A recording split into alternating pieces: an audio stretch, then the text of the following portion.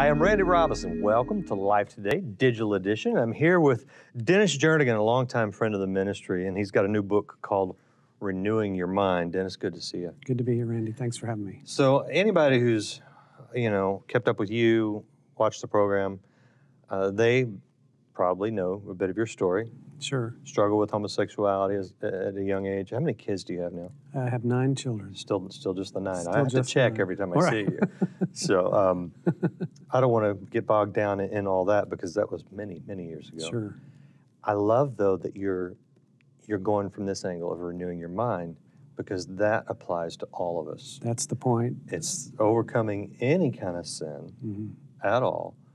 It means renewing your mind daily. So give me give me a little insight of what you're talking about. Well, the battleground for anybody, if they're if they're realistic about what they struggle with, it's the battleground is your mind. A simple way to put it is, I can change the way I feel by simply changing the way I think. Proverbs 23 7 says, As a man thinks in his heart, so he is. Uh, Romans 12 2 tells us to be transformed by the renewing of your mind. So I, I just got that many years ago and ran with it. Uh, in fact, I went 12 years, one of the episodes of my life where I became so convinced that that was reality and it would work. And the, the Lord came to me and He said, I want you to just do away with, stop listening to secular music, stop watching secular television, stop watching movies. In other words, stop all the other voices vying for your attention. Right. And I went on this, what became a 12 year fast. Wow. I literally missed the 80s. As I've gone back and looked and listened, I didn't really miss much. Oh, no offense. No offense, anyone. There's some good music. But my point is this if you shut out all the other voices and ask the Lord to speak, He will.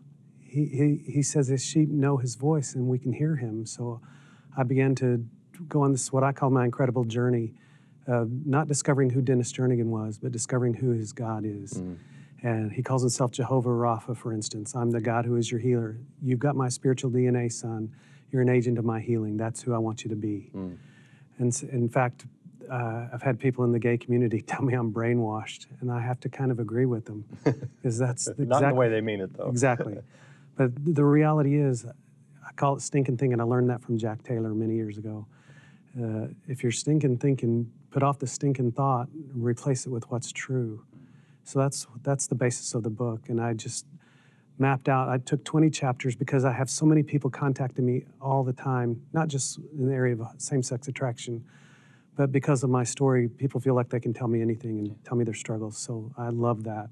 So I decided I need to come up with a concise way to convey the truth that God used in my life to set me free. Mm. So in a nutshell, that's the basis of the book.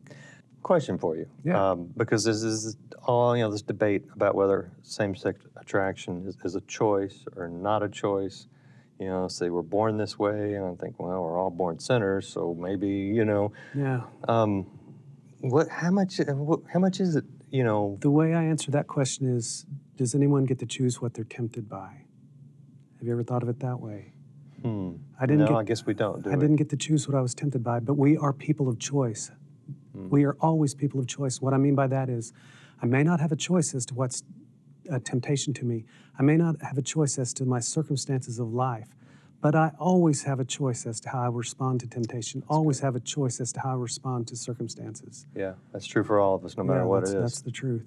Hmm. So, How do you, if you can compare how you thought, you know, before, especially before the 12 Mm-hmm. years of shutting out all the other voices, Yeah.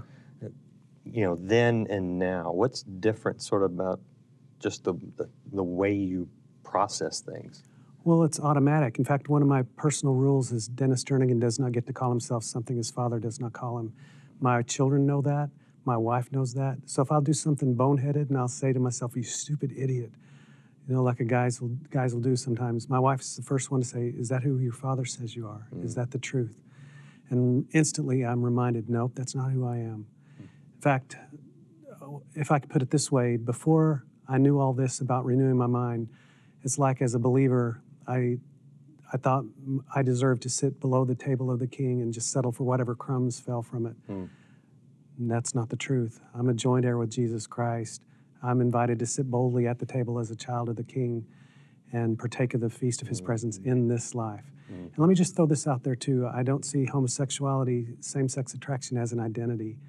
I see it as a temptation, nothing more, nothing less. Changing your mind about your identity. What sort of insight can you give us as to, as to how that changed everything for you? It transformed every, ab- absolutely every area of my life. In fact, one of the ways that I began to renew my mind initially was I would ask the Lord, let's just start from scratch. Let's just, Lord, what would you like me to wear today? Lord, what would you like for me to eat today? What would you like for me to listen to today? Is there someone you want me to encourage today? In fact, that's one of the ways of escape for temptation for me is if I'm feeling discouraged, the Holy Spirit's real quick, well, I want you to find somebody who's discouraged and I want you to encourage them. Hmm. All of a sudden, I've taken my eyes off of me, which sin gets us self focused, mm-hmm. taken my eyes off of me, placed them on the Lord and on other people and on their needs. And all of a sudden, my needs get met. I'm no longer discouraged. Mm-hmm. I'm quite encouraged, as a matter of fact. I don't know if that answers your question. Funny how that works. Yeah, no, that's funny? wonderful. Oh, I- another area that I, I'm guessing you had to deal with. It's come out in, in another book that you've got out. Oh, yeah. It's it's a children's book, Yeah, but it has a lot, very much to do with your adulthood. very much so. In fact, it's one aspect of renewing my mind. God wastes nothing. He's not wasted my failure. He's not wasted my past experiences. He's not wasted even my temptations. He's, if I bring him anything in honesty, he's able to transform it and show me his point of view. And we can either live from the king's point of view or we can live from the enemy's point of view. That's the way I see it. Mm. That's just the way I decided to live my life. One of the things I used to struggle with as a child, even through my college career, let's be honest, was the fact that my dad didn't love me. And the reason I thought that's because he never said the words, I love you.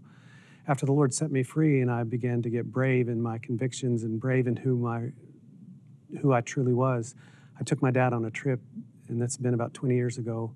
And I asked him all the hard questions. Mm. Big question, Daddy, why did you never tell me you loved me? You know what he said to me? He said, My dad never told me, so I didn't know how to tell you. Mm. All of a sudden, one honest question, one simple answer, we took back, we broke a generational curse, let's be real, on our family, took back stolen ground. But another aspect is the Lord had me go back and look at my life from His point of view, Your dad's point of view, or from God's point God's of view. God's point of view. God's point of view. yeah, and see the, the reality that my dad did love me. He expressed it in ways. In this book, The Incredible Growing Basketball Goal is a true story. My dad just passed away August 31st, so it's very poignant for me to even be sharing right now. But he, uh, when I was five years old, I asked him for a basketball goal. I knew my birthday was coming. I knew my chances were good. he said, "No, son, I don't have enough money to buy you a basketball goal." So I was crushed, and he said, "Oh, but we can get you one." And I said, "How?" He said, Well, I've got enough money we can afford a basketball goal seed. We'll plant one and grow one. I'm five. That sounds completely reasonable to me. Sure. So we went with it. The next day he came home with this seed. He said, Let's go pick out a spot for your goal. And we picked out a spot and I got to dig the hole. He said, You put it in there, now you cover it up, and your job is to water this every day. So I was watering it every day. and after a week, I came out in a three foot section of green pipe. I'll never forget it, had sprouted.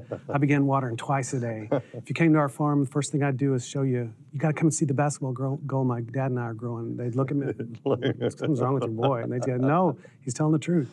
So every week, another three foot section, another three, three foot section, until my birthday morning comes.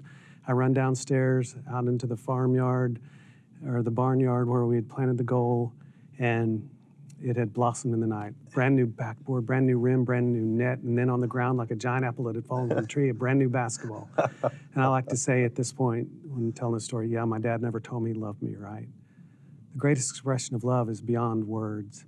Words are awesome, don't get me wrong. Mm-hmm. But the greatest expression of love is the laying down of my life and my dad of, of life, and my dad did that in droves. Hmm. So that's the basis of this book. I was able to show my dad the book in, on his deathbed, and hmm. we got to reminisce about it. He couldn't say a word, but he just shook his head. I said, "Daddy, do you remember?" He said, "Yes, I remember." Hmm. So my prayer is that millions of dads and granddads would be inspired to minister to their kids in similar ways. Just get creative. That's, That's the great. basis of the book. Oh, that's wonderful. A lot of healing, I think, taking Yeah. place right there. Very much so. Uh, what's your website for people that are interested in the books or in your ministry? anything? DennisJernigan.com. All Dennis- things Dennis Jernigan. Yeah. Great. Check out his website. And if you want to hear more from Dennis, you can see him on our broadcast show. That's available at lifetoday.org. Thank you for watching and sharing this interview. Be sure to check out the social media for Life Today Television, and you can connect with me on Facebook and Twitter. And if you haven't already subscribed or followed this channel, do it now so you can see more of our great guests.